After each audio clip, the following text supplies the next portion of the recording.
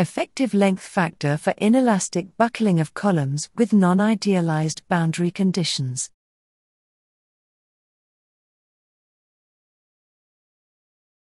In the previous lecture, we learned how to determine the effective length factor, K, for a column in a frame structure. First, we determine the stiffness ratios at the ends of the column. These ratios specify the relative stiffness of the column with respect to the stiffness of the beam at each end. When we assume the beams and columns behave elastically, E can be treated as a constant, leading to the following simplified equations for GA and GB.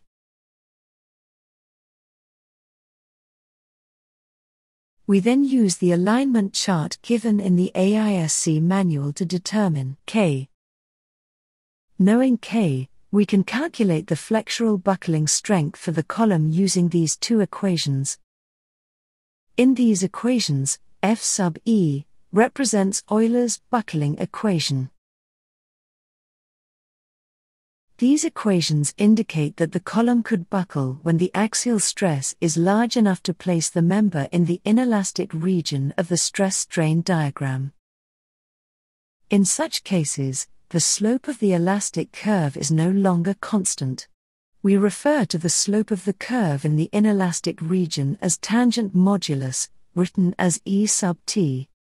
E sub t differs from E in a significant way. Since E is constant, we can eliminate it from the stiffness ratio equations. However, since the magnitude of the tangent modulus depends on the amount of axial stress in the column, we cannot treat E sub t as a constant. Therefore, we cannot simplify the stiffness ratio equations as was shown before.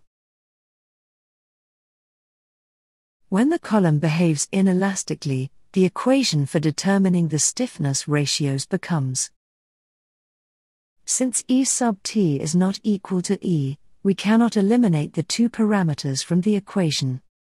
The best we can do is to rewrite the equation in this form. If we refer to this stiffness ratio as G elastic, we can express G inelastic in this manner.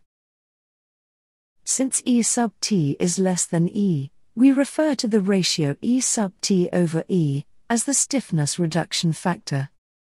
This ratio can be determined in terms of buckling strength using Euler's buckling equation.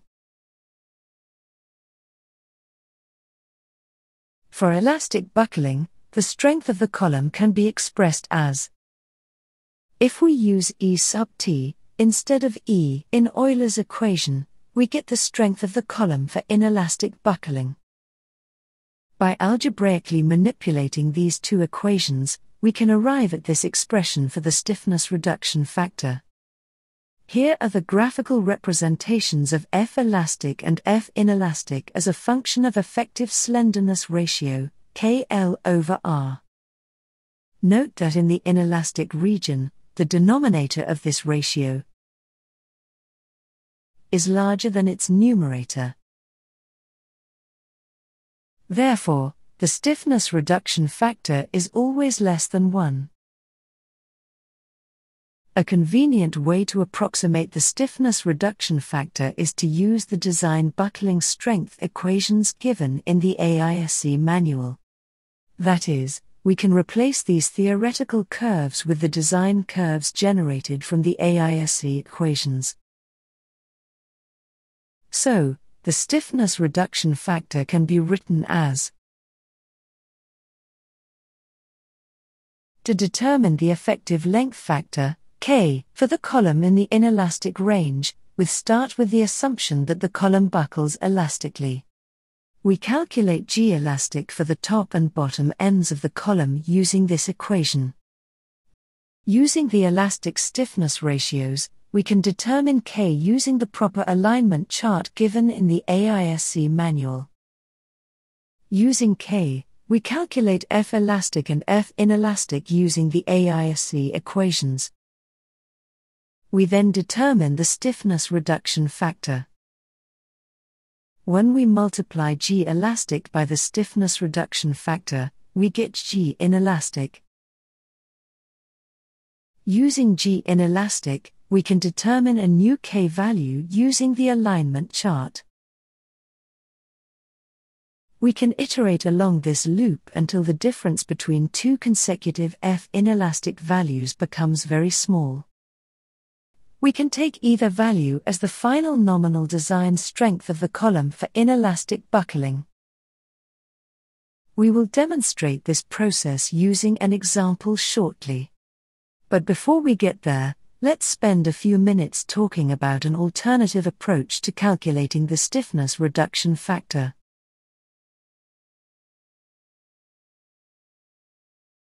We start by considering the idealized Euler buckling equation. The equation can be graphed this way. For comparison purposes, here is the elastic buckling curve given by the AISC equation. We can see that AISC recommends more conservative strength values than values obtained from the theoretical equation.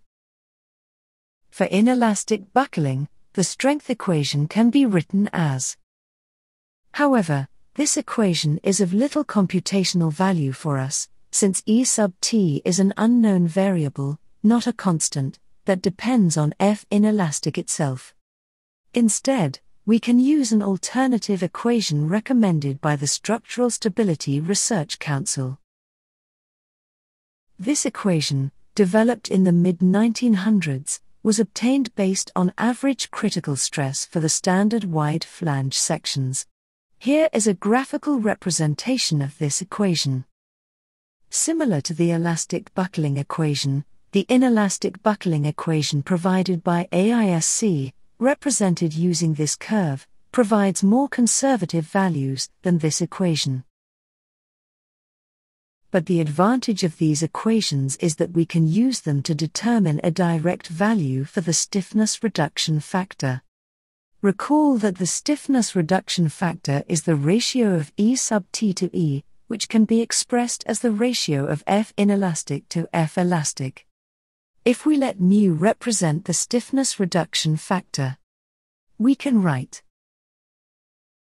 Substituting F inelastic over mu for F elastic in this equation, we get Solving this equation for mu, we get Let's multiply the numerator and denominator of these ratios by A sub g. F inelastic times A sub g is the nominal inelastic buckling strength of the column, which must be greater than P sub u, the factored compressive load applied to the column. So, if we assume that the column strength is exactly equal to the factored load, then the expression for the stiffness reduction factor can be written as This equation enables us to estimate the stiffness reduction factor for the column, given the load applied to the column and the grade of steel in use. For example, if the column has W10 by 54 for its cross section, and the yield stress of steel is 36 ksi, since the cross sectional area of the member is 15.8 square inches, we get. So, if the column is subjected to a factored compressive load of 400 kips, the stiffness reduction factor for the member becomes. Note that this formulation does not require an iterative solution for determining the stiffness reduction factor. However, since here we are assuming the column is as strong as the applied force, and not stronger, we are underestimating the actual design strength of the column. This conservative approximation is in fact an acceptable design practice. AISC offers this equation as a solution for determining the stiffness reduction factor. Details are provided in Chapter C, Section C2, Subsection 3 of the AISC Manual. Given that the AISC equations for compressive strength against buckling are in fact conservative approximations of the theoretical buckling equations, we shall use the AISC equations for determining the effective length factor. And use this technique as a secondary method for solving problems. As mentioned a few minutes ago, using the AISC equations requires us to adopt an iterative process for determining the stiffness reduction factor. We now demonstrate this process using an example. Consider a steel skeleton structure consisting of five frames in the short direction. Suppose we wish to determine the buckling strength of a specific column in the plane of an interior frame. The target column is shown in the color orange. Put differently, we wish to determine how much compressive force it takes to make the column buckle out of this XX plane like this. The column has the standard W14 by 99 cross section. The length of the member is 10 feet. The beams restraining the column at the top and bottom have the W12 by 45 cross section. The column below has the same cross section as the target column. Here is a 2D plane view of the frame we can get the needed section properties of the beams and columns from the AISC manual. We start by determining the stiffness ratios for the ends of the column, assuming elastic behavior. The equation for GA is substituting the lengths and moments of inertia for the beams and columns connected to joint A, we get for GB, we have or Knowing GA and GB, now we can determine the effective length factor, K, using the AISC alignment chart. Since the frame is susceptible to side sway, we need to use the alignment chart for unbraced frames. Here is the chart.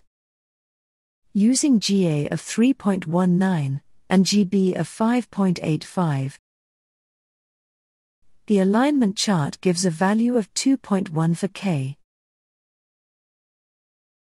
Let's check and see if the effective length is short enough to put the column in the inelastic region when buckling takes place.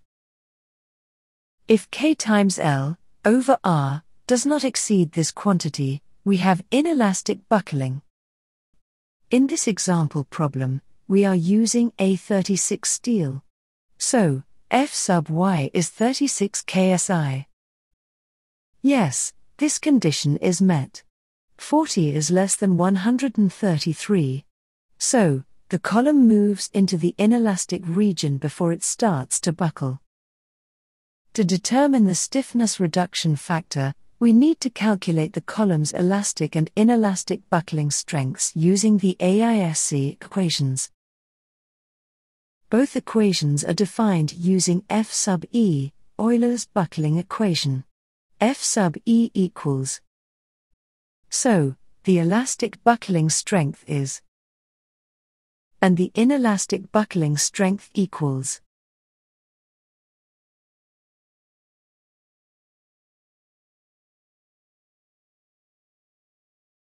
As I mentioned a few minutes ago, the stiffness reduction factor can be estimated as inelastic F critical divided by elastic F critical.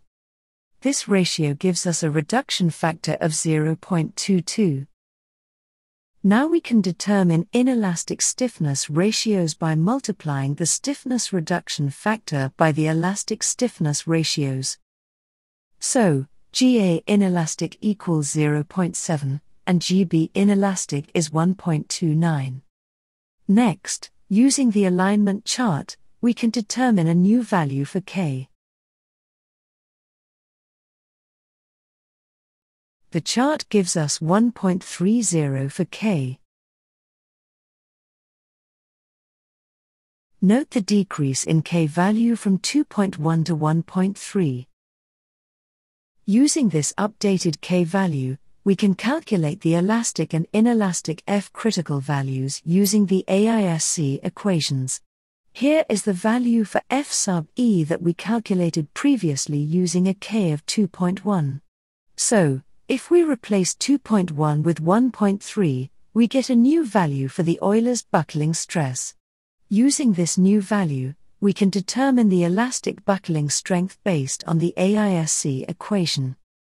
And, the AISC equation for inelastic buckling gives us this value.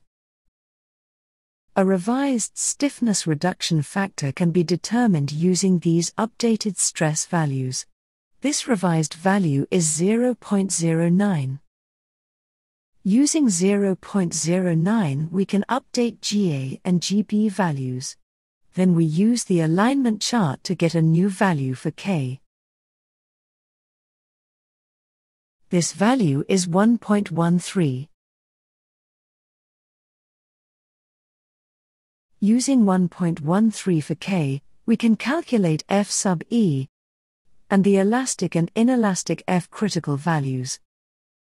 Moving on to the next iteration, we can determine a new value for the stiffness reduction factor, which then can be used to calculate new values for GA and GB.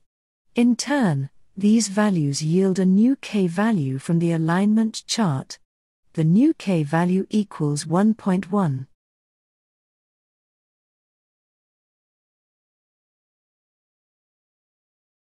Using 1.1 for k, we can determine a new value for f sub e, which can be used to update the elastic and inelastic f critical values. The pair of values yield a stiffness reduction factor of 0.06. Note that this is the same value we got in the previous iteration. So, if we go through another iteration, we end up with this value for buckling strength. Put differently, the iterative process has converged. The final effective length factor for the column is 1.1, and the final inelastic F critical is 35.14 ksi. Now we can determine the design buckling strength of the column using this equation, which yields 920 kips. As long as the factored compressive force in the member does not exceed 920 kips, the column is expected to remain unbuckled about the XX plane. When P sub u exceeds 920 kips, we should anticipate the buckling of the column. It is useful to keep in mind that the buckled column does not behave elastically, rather, it exhibits inelastic behavior. We will continue our discussion on column buckling in the next lecture. Here are a few exercise problems.